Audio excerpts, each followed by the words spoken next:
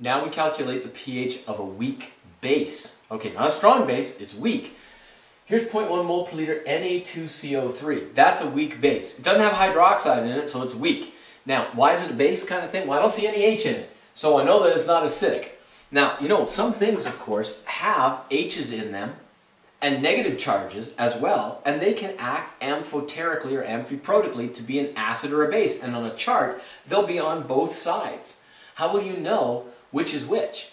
Well, uh, well or, or whether or not a chemical reacts as an acid or a base. Well, just actually figure out if it's higher on the left or lower on the right. I guess that means then what you're looking for is whether a solution uh, is, is more of an acid or a base uh, by its position on a chart. But then, if you don't have those positions on a chart, how would you determine it? Now, I know I'm sidetracking a little bit from this question here, but this ion right here, bicarbonate, just want to tell you, uh, that is an acid in certain situations and a base in certain situations. But if you just put it into water, what is this chemical right here? That chemical right there, bicarbonate ion, because it's a, an acid that happens to be a pretty weak, weak acid, kind of down here. But as a base, you would find it on a chart over here. So in the bases side here, where the strongest base is down here, hydroxide, and the weakest one, water, is here, and it's in the middle, that HCO3 negative, it's kind of a medium weak base. So in water itself, this chemical right here, HCO3 negative, would be more base than acid. Okay, just, just to illuminate something for you here. Now, okay, I digressed, but that was a little teaching point sort of thing. You're going to notice some amphoteric species later. You're going to have to determine whether they're acid or base. Figure out where their position is on the chart. Or you can calculate their Ka and their Kb. That's coming up in a second. But this chemical here is sodium carbonate. And sodium carbonate, carbonate ion, is a base. It's a weak base. It's kind of a strong weak base because hydroxide's down here and it says that I'm strong Everything else is weak, but carbonate says, well, I'm kind of, I'm weak, but I'm, I'm kind of a strong weak. So now, carbonate ion, that's in sodium carbonate. And look, take the metallic ion and get rid of it all the time when you're writing a net reaction. So carbonate is the active ingredient here, the sodium goodbye. Carbonate, when it hits water, is going to do this. Takes a proton from water and turns into this bicarbonate and the water turns into hydroxide. If you could calculate the concentration of the hydroxide in solution, you can find the pH.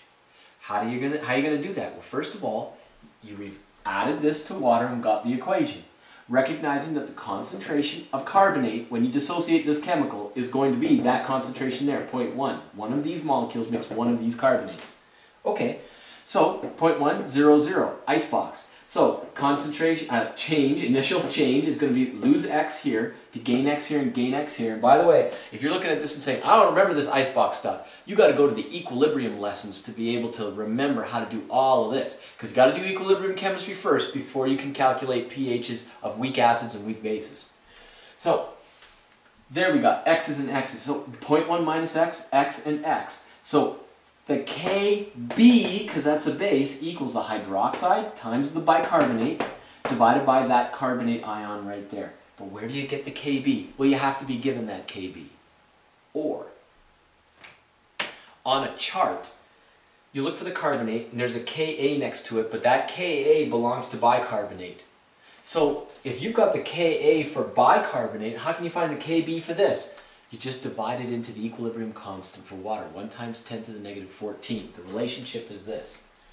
If you take the Kw and, and, and if you take the Kb and you want to find the Kb, it equals the Kw over the Ka of the conjugate acid to that weak base. So here's the thing. If somebody gives you bicarbonate this one right here, and it says, here's the Ka for that, what's the Kb for this? You divide that into the divide that Ka into the Kw to get the Kb. On my chart, I have a Ka for carbonate here at 4.7 times 10 to the negative 11. And so that means the Kb for the bicarbonate is 1.00 times 10 to the negative 14 divided by the 4.7 times 10 to the negative 11. That's the Kb. And it's going to equal what? X squared over the concentration here, 0.10 minus x. Can you disregard that x when added to or subtracted from something? In the majority of these cases, you certainly can. So really, it's taking this number here times 0.1, take the square root of that, and what does that equal? X. But X is going to be the concentration of the hydroxide ion in solution.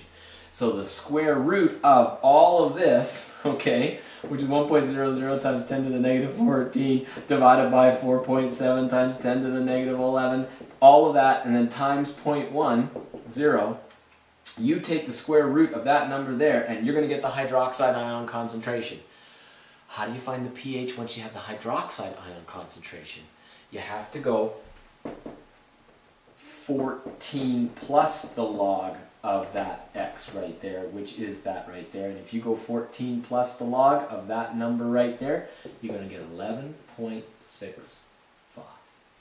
What is that? That's the pH of a solution of sodium carbonate at 0.1 moles per liter.